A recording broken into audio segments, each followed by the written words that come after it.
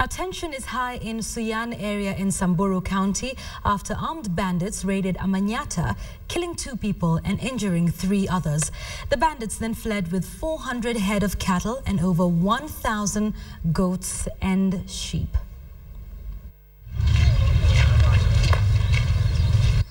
Maralal District Hospital in Samburu County, three latest casualties of the rampant cases of banditry in Baragoi's Suyan village are receiving treatment. According to residents, armed bandits raided the Manyatas at night, killing two people, a 43-year-old man and a 16-year-old boy.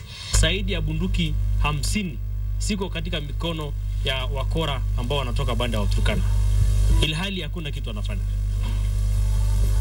Tungependa kumuuliza Lelengu kama amechundwa na usalama, basi ajiusulu na wacha tupate mtu mwingine ambaye anaweza kupeana usalama katika wananchi wa Samburu.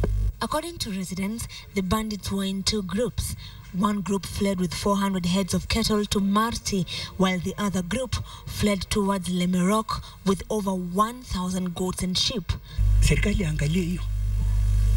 Halafu ile serikali iko mahali Pita anatokea, anafanya nini hapo? Na amejaa hiyo marurukono yote, makambi zimepeanwa na wananchi ya kaunti ya Samburu na watu wanakaa sasa. Hii adui anapita hiyo makambi yote, anaenda kuua wananchi ambayo innocent, anachunga mali yao, na sheria anasema serikali jukumu yake ni kuchunga mwananchi na mali yake. Back at the Manyatas, it is all silent. Families have already fled their homes in fear of another attack. There has been a series of bandit attacks in the area in the last few months.